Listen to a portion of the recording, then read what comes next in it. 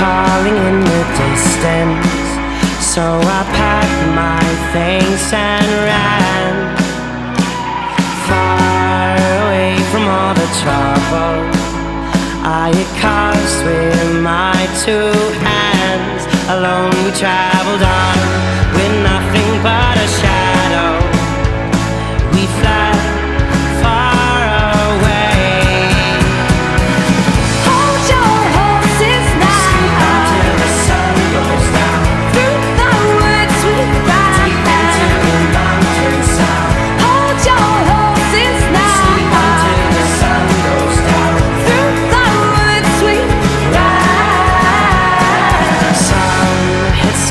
some scratches that made me wonder about their past.